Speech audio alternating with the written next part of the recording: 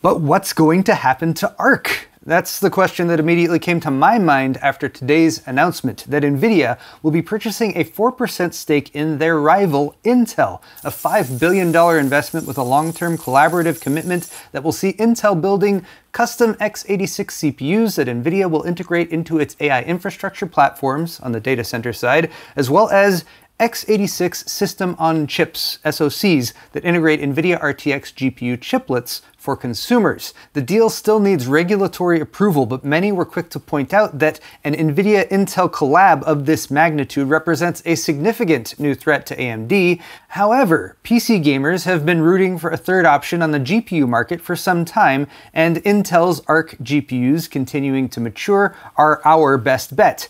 But despite the potential for Intel x86 RTX SoCs, I can't help but think, what about those Xe graphics cores that handled iGPU tasks previously for Intel? Xe cores that also power Arc discrete GPUs, which directly compete with NVIDIA GeForce. And is there any aspect of this deal that will stunt Intel's development of future Arc generations? I'm not worried about AMD,